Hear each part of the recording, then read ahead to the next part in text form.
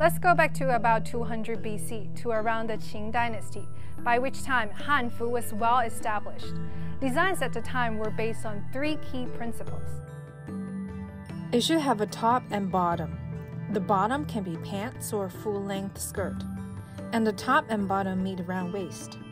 Those rules would also be prominent during the subsequent and long lasting Han Dynasty, around the turn of the millennium. However, Sharp cutting edges at the bottom of the top was a signature of the time.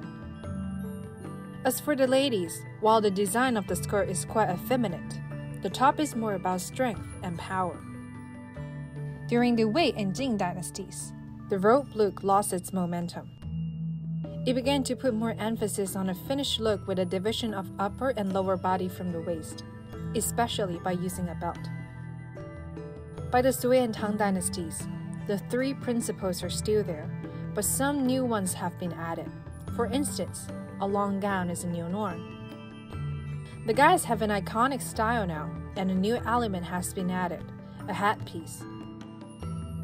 As for the girls, the dress wraps around and begins from the chest. The design wants to create a new look that transforms the body ratio.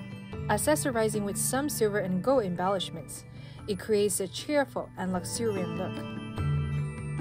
The Song dynasty innovates based on these four principles. And under these different principles, different styles are born. Moving into the Ming dynasty, from the 14th to the 16th centuries, we see a move to mix and match. A typical combo is a short top with a mamian skirt, but it's all very open and easygoing. People are encouraged to experiment a long top can also go with a skirt, for instance. A major change is on the color, however. While keeping the crossover round and symmetric color, the width of the color deepens. It can almost wrap around the entire neck.